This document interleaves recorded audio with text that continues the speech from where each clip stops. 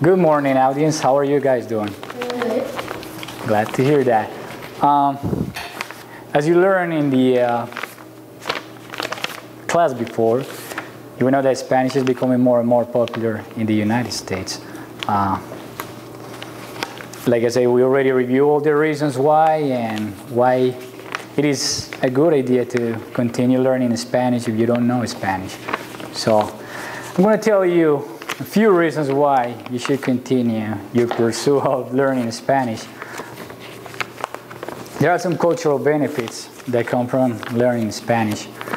Uh, if you know Spanish and you already know English, eventually you'll be able to learn French and Italian, which are very similar to Spanish. I mean, they have roots, they share the same roots, also Portuguese.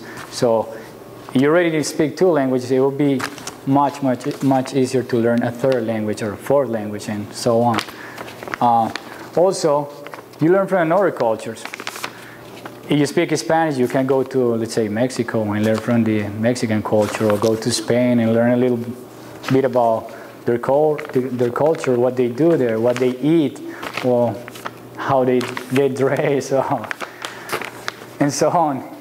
When you travel abroad, you get to see a variety of places and people, different people.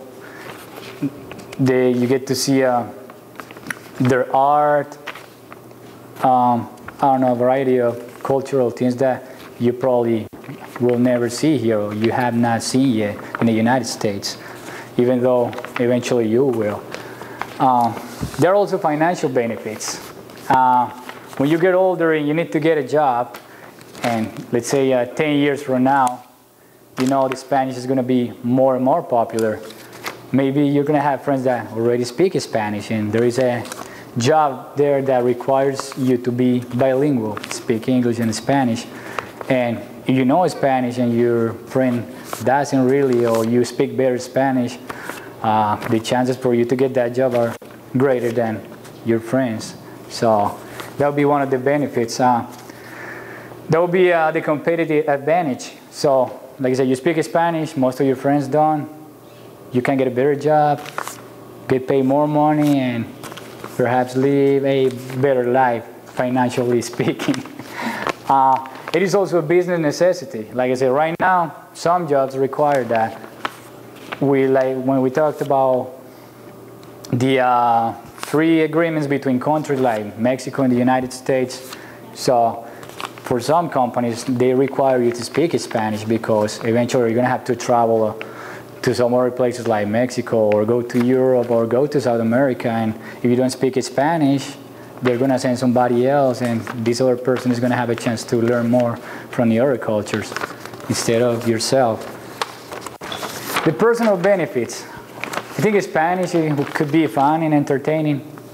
I mean, there are ways to learn Spanish that won't be as stressful as it could be in a classroom.